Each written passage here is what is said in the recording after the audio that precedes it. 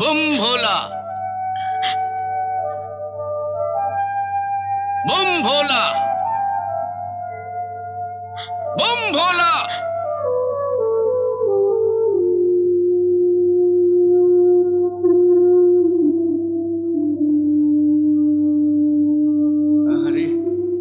সাতটি সোনার শিশুকে ওরা জীবন্ত মাটি চাপা দিয়ে রেখেছে। আয়, ভগবানের ইচ্ছায় আমি তোদের মুক্ত করি।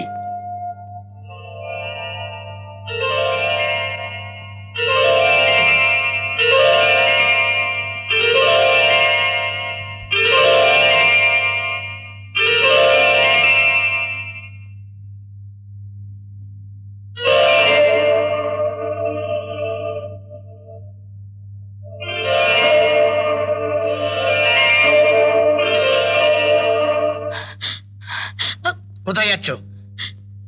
ছোট রানীর কাছে। ছোট রানী বলে এখন আর কেউ নেই? নেই। ছোট রানী কোথায়? তাকে বনবাসে নিয়ে গেছে। বনবাসী? এতক্ষণ তারা চল্লিশ কোষ পথ এগিয়ে গেছে।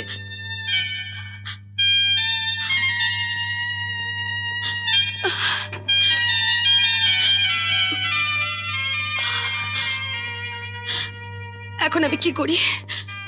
শরীরের পেটের ধনকে কোথায় লুকিয়ে রাখে? আমি, আমিও তো চিরকুমারী। আমার ঘরে শিশু সন্তান থাকলে লোকেই বা কি বলবে? তার চেয়ে বরং কালে কালে আমাদের গ্রামে চলে যাই। সইয়ের বাবাকে সব কথা খুলে বলি। সইকে যে কেন বনবাসা দিল, কিছুই জানতে পারলাম না। ভগবান, ওকে আমি এখন কোথায় খুঁজে পাই? আপনি শুধু শুধু কেন দুঃখ করছেন, মহারাজ? ভগবান যার ভাগ্যে যে লিখেছেন, তাকে আর খণ্ডানো যায়? হ্যাঁ ঠিক তাই। আপনি মনস্থির করুন, ধৈর্য ধরুন, মহারাজ। আমরা আপনার পুরনো রানী, আপনার শুধু সুখেরই সাথী নই, দুঃখেরও সাথী। আপনি বিশ্রাম নিন, মহারাজ।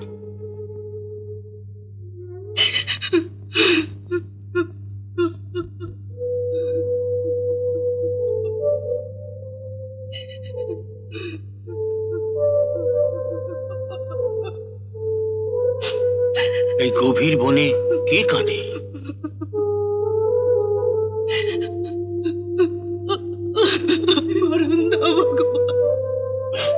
এই গভীর বনে কে তুমি মা? কেনই বা কেঁদে কেঁদে ভগবানের কাছে মরণ চাইছো? আমি এক গরিব কাঠুরিয়ার মেয়ে বাবা। হ্যাঁ? কাঠুরিয়ার মেয়ে? হ্যাঁ বাবা। কপাল গুনে রাজরানী হয়েছিলাম। আমার কপাল তো সেই বনবাসী হয়েছে। দুঃখ করিস নে মা। যার কেউ নেই তার পাশে ভগবান থাকেন। আমি এক গরিব কাঠুরিয়া। ওই বনের পাশেই একটা ঘরে থাকি। আমারও কেউ নেই। আয় মা আমার সাথে আয়। আমার ভাঙা ঘরে আমার মেয়ে হয়ে থাকবি। আয় মা আয় আয়। কাকা কাকা। আরে মালতী না? কাকা কোথায়? সে তো মারা গেছে। মারা গেছে? কোলের সন্তানটি বুঝি তোমার? বাবা বেশ বেশ। কোলের সন্তানটি বুঝি তোমার? বাবা বেশ বেশ। আমার সন্তান? আমারই সন্তান। কিন্তু তোকে নিয়ে আমি এখন যাই কোথায়? রাজপ্রাসাদে ফিরে গেলে ওই ডাইনি ছয়রানি সন্দেহ করবে। এই সন্তান কার, কোথায় পেলাম, কি করে পেলাম?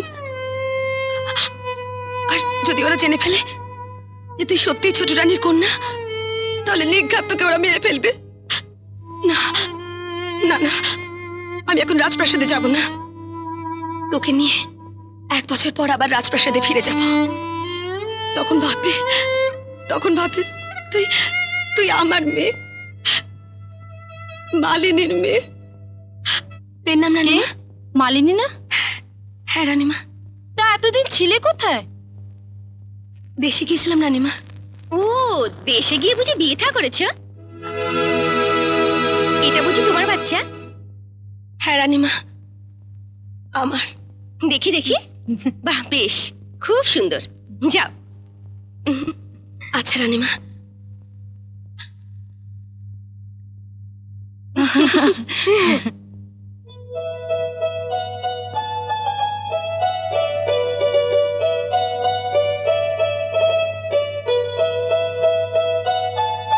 মা দুধটুকু খেয়ে যা। না আমি খাব না। পারুল শুনে যা। আহারে দুঃখিনী মায়ের ধন। জানি না কবে এই রাজপ্রাসাদে সবাই তোকে রাজকন্যা বলে জানবে। আর সাত রাজপুত্র। যারা সাতটি চম্পা ফুল হয়ে আছে, ওরা কবে সে মানুষের রূপ নিয়ে দুঃখিনী মাকে খুঁজে বের করবে? ওই অন্ধকার রাজপ্রাসাদে আলো ছড়াবে, মহারাজের মন আনন্দে ভরে তুলবে।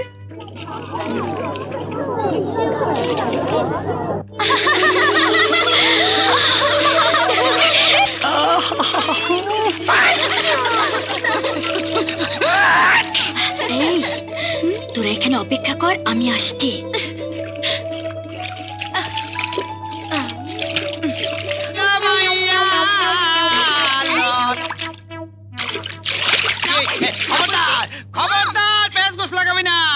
পাংশিতে উঠলে ঠ্যাং বাইঙ্গা তোমার হাতে ধরাই দেবো। সদাগর! ও সদাগর! চুপ হতভাগা। নেমে আয় না। তোর মাথাটা আমি ফাটিয়ে ছাড়বো।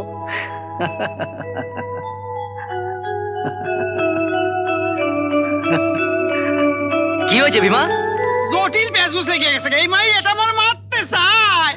হুম। আরে সুন্দরী মেয়েদের হাতে মার খাওয়া তো ভাগ্যের ব্যাপার। তা কি অপরাধে আপনি ওর উপরে অসন্তুষ্ট হয়েছেন বলুন তো? ওই পাঁচিটা লুকিয়ে লুকিয়ে আমাদের দেখছিল। ও এই অপরাধ। মানে ওর চোখ দুটোর অপরাধ। বেশ বেশ আমি এক্ষুনি শাস্তির ব্যবস্থা করছি। আমার বিমা আজ থেকে এক মাস তোর চোখ বাঁধা থাকবে। এই এক মাস তুই কি তুই কিচ্ছু দেখতে পাবি না। এই তো। কিন্তু আপনি যে আমার সামনে দাঁড়িয়ে আছেন, আমার চোখে তো অপরাধ করছে।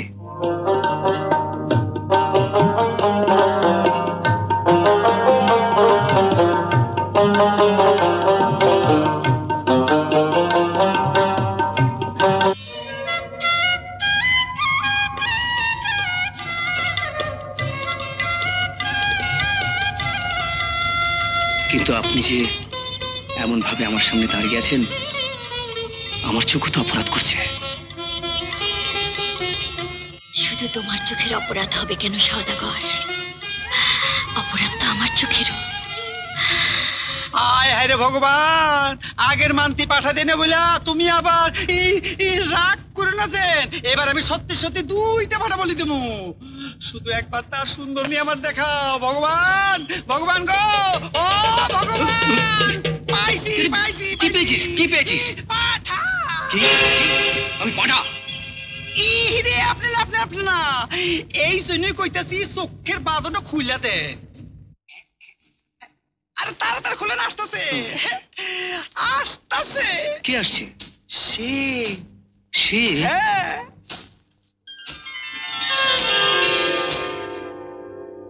শোনো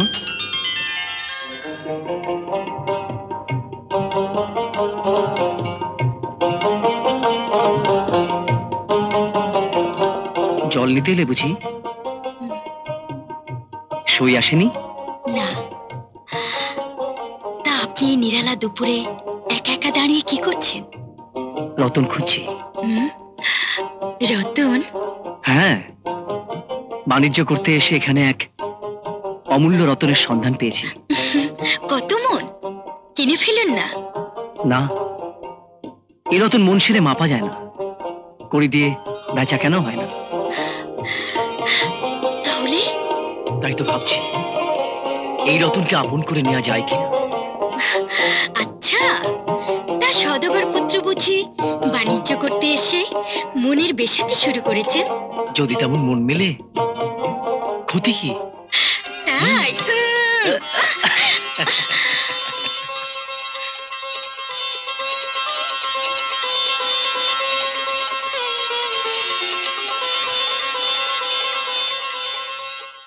এমন আরও অনেক ভিডিও দেখতে এই চ্যানেলটি সাবস্ক্রাইব করে নিন এবং পাশের বেল আইকনটি প্রেস করে দিন।